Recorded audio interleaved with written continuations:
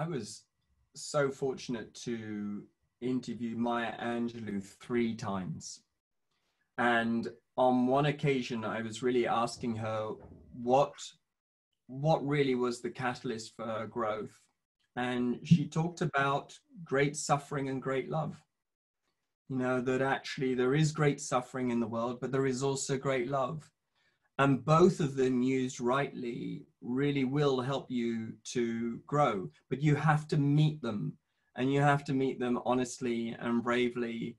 And and trust that who you think you are probably won't succeed at this challenge but who you really are can and will. At, at, at the heart of all the work that i do as a coach and i, I, I know this is true of the work that robert does as a, a coach is something that we either call creative disruption or, or I tend to call it loving disruption. And I, call it loving disruption because it, it is important that people recognize that they are being loved and held so that they feel safe enough to allow themselves to be disrupted.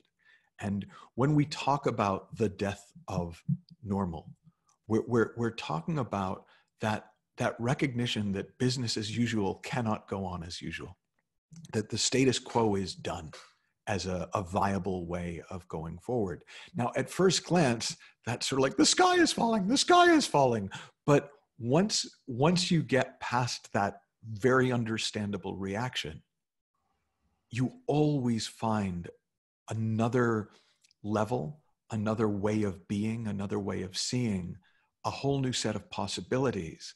And and so it's this continual game. I remember sitting with a client once and they told me their goals. And I said, well, we could do that and you could redecorate the inside of your egg. Or I could break the egg open and see what happens when you hatch.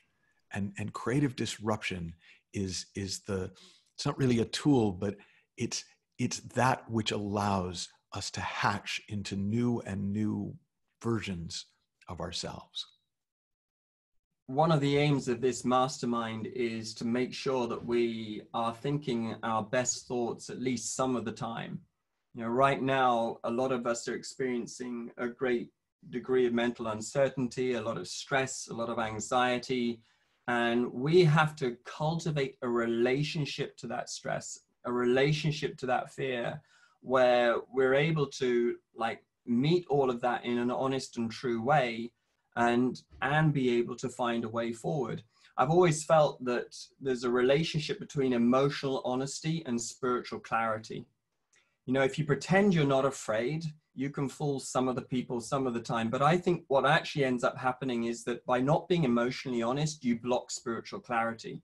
Whereas if you can be emotionally honest and you can say well look i am afraid. I am worried yeah this is uh, causing me stress.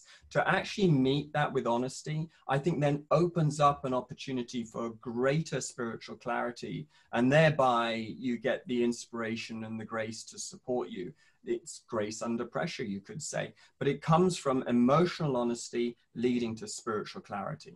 One of the things that i think is just makes mental wellness so much less of a, a, a a challenge and uh, okay, I've got to really work on my mental wellness is when you start to see that at our core, and this is at the core of spiritual resilience, wellness is what we're made of.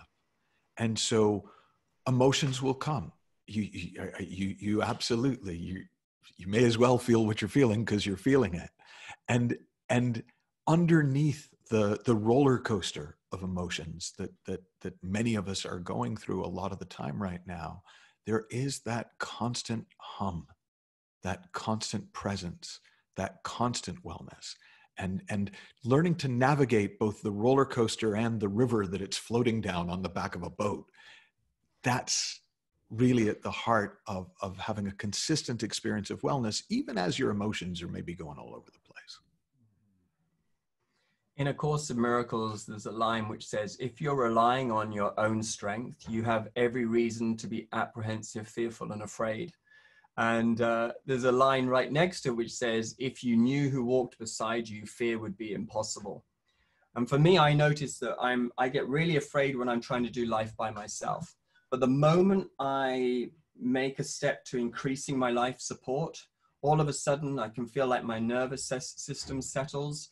I know that I'm held by something greater than myself. And there's there's hope actually. You know, there's a hope that actually I'll come through this. But I won't come through it by myself. I'm going to have to come through it together with my with my social network and with my spiritual team helping me every step of the way. I remember the most money I ever spent on coaching. I spent uh, uh, hundreds of thousands of dollars because I wanted to take on this big project that was what ultimately became Supercoach Academy.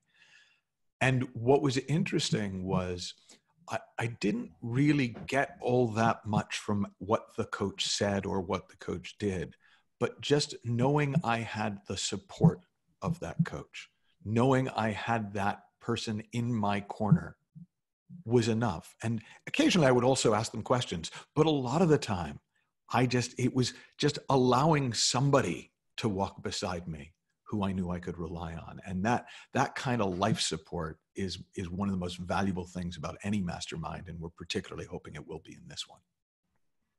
One of the phrases that's been coming to mind a lot recently is that you can't shrink your way to success. I think I've been thinking about it because I've known the temptation in me to really shrink right now. There's a contraction that wants to happen most days, you know, um, it, and it's a safety response, I imagine.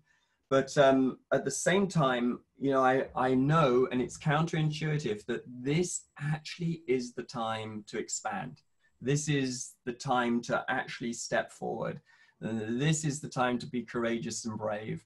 And when I want to be courageous and brave, I've got to I've got to have a friend help me out with that. So Michael, you're my friend here for this. Um, and together with a team, I know be buddies. Of, yeah, buddies. We'll be able to do this together. I've had the, you know, uh, the experience of running several masterminds now over the last five years in particular. And I can honestly tell you, in each and every one of those masterminds, I've set myself a goal and I have done something that I would not have done if I had not been on that mastermind.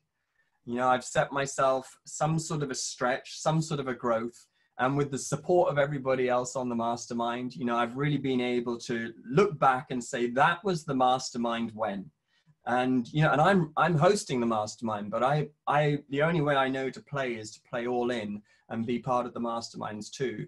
On this occasion, I get to do it with you, Michael. So now I know there'll be even more space for me to be able to say this was the mastermind when, you know, and I'm looking forward to finding out what that stretch is, but I know it'll be there for me. And that's what I want for everybody that we use our mastermind to explore what spiritual resilience really means and maybe be able to uh, accomplish something or experience something that we were going to get around to one day, but we're doing it now.